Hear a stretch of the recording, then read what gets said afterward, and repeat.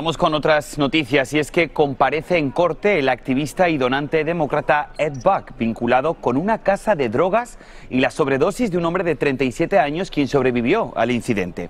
Según el fiscal del distrito de Los Ángeles, Buck, de 65 años, enfrenta un cargo por delito grave y por lesiones graves tras administrar metanfetaminas a sus invitados. En años recientes, al menos dos personas murieron también en su apartamento debido al consumo de narcóticos. Hay muchísima información, si los parece, nos vamos a conectar vía Facebook en Los Ángeles con Isaías Alvarado.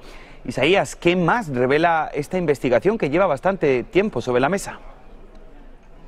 Así es, en California tenemos el caso de este hombre que es un conocido donante del Partido Demócrata, fue candidato en 2007 al Consejo de West Hollywood y un rostro conocido entre políticos de la comunidad LGBTQ pero ahora es acusado de operar una casa en la cual se distribuía y consumía droga y de ser el mismo el que le inyectó metanfetamina a este hombre que sobrevivió de, una sobredosis de droga. Esto ocurrió el pasado 11 de septiembre, pero no es el único incidente, como ya lo mencionas, eh, lo vinculan también las autoridades en el caso de dos hombres muertos que fueron encontrados en su apartamento en West Hollywood en 2017 y en enero pasado. Los fiscales al momento no han encontrado suficiente evidencia para presentarle cargos en estos casos. Sin embargo, el sheriff del condado de Los Ángeles dijo ayer que continúa investigando este caso.